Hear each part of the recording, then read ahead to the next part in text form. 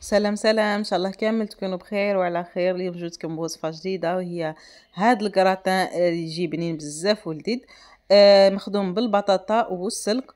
بيان سور زدنا له نكهة تاع المرقاز باش يعطي بنه ولا أروع. هنا راح نخدم معاكم يعني الوصفة جد سهلة مع لاصوص بيشاميل. قبل ما نبدأ الوصفة ماذا بيا؟ آه، وديروا الاشتراك في القناة. وتفعلوا الجرس باش يوصلكم يعني وصفاتي.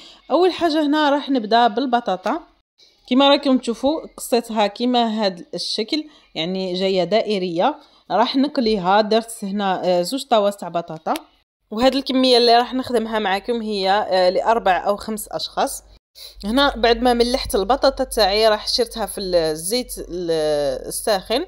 ونخليها تتقلى يعني عادي. بعدها راح ننتقل للسلق تاعي نوجدو. درت آه، زيت زيتونة في مقله زدت لها حبة بصلة مقطعة أوندي آه، يعني صغارين. زدت لها أربع حبات ثوم آه، مرابيين. راح نخلي البصل تاعي يتقلى مليح ويتكرمل شوية. بعدها راح نضيف لها المكونات الأخرى. كما راكم تشوفوا هنا البصل تاعي راهو دبال. هنا راح نزيد لها زوج حبات طماطم آه، مقطعين صغار. بعدها نزيد نغلق عليها ونخليها طيب شوية.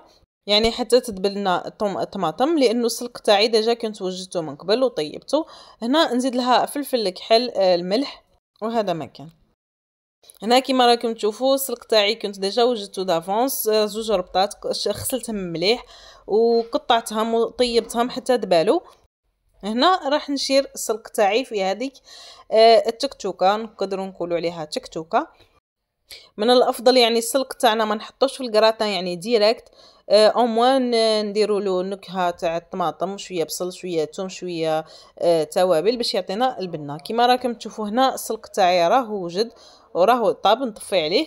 بعدها راح ننتقل لل béchamel كيما راكم تشوفوا 30 غرام تاع الزبدة حطيتها تذوب بعد ما دابت نضيف لها زوج ملاعق كبار من الفرينة. بيان سور على نار هادئة نقعد نحرك فيها باش ما يديروليش الحبيبات.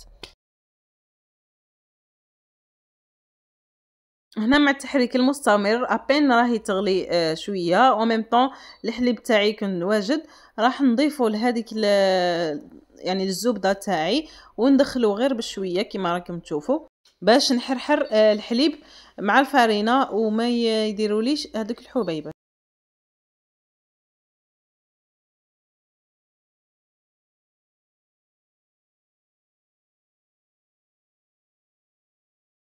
هنا بعد ما حللت الفرينه تاعي في كمية من الحليب ماشي كامل آه، فرغته في الحليب المتبقي آه، هو لترا. يعني استعملت لترا من الحليب.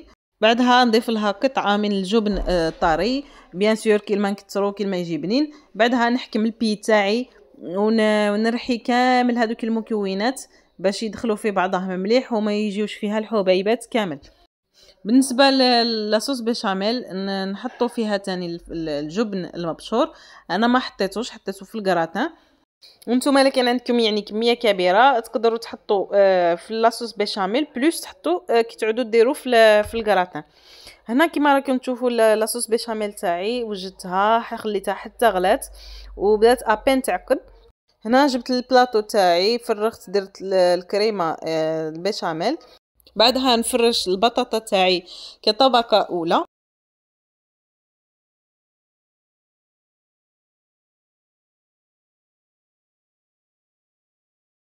بعد ما حطيت الطبقة تاعي تاع البطاطا هنا راح نجيب السلق تاعي اللي كنت وجدته من قبل. راح نديرو كطبقه ثانية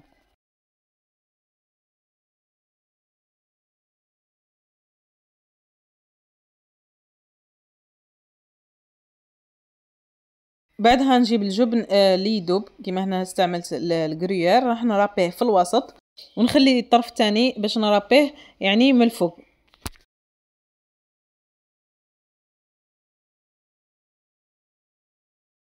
هنا راح نجيب المرقاز تاعي كيما راه خضر.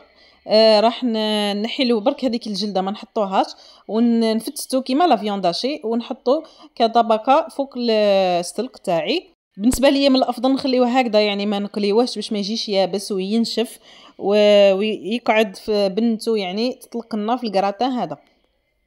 هنا راح نوزعو على كامل البلاطو تاعي. بالنسبة للكميه استعملت سبع حبات. كانت كافية وافية وجا بزاف بنين آه، خير على la viande hachée لأنه المرقاز يجي مدوزن.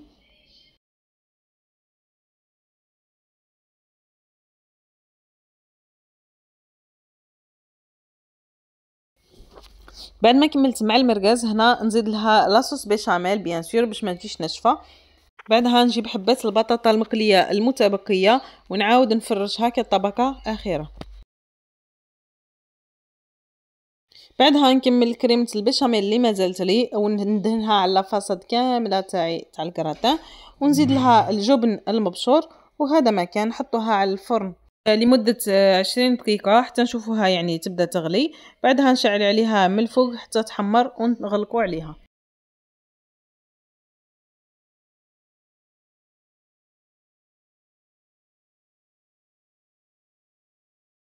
هنا بعد ما خرجت الكراتان آه، من الفور كما راكم تشوفوا التحميره تاعو آه، جا بزاف بنين وما جاش ناشف. خاصة المرقاز عطالو نكهة آه، جات بزاف بنينة ويعني مذاق جديد. نتمنى تعجبكم الوصفة وتجربوها وتخليوا لي رايكم في التعاليق.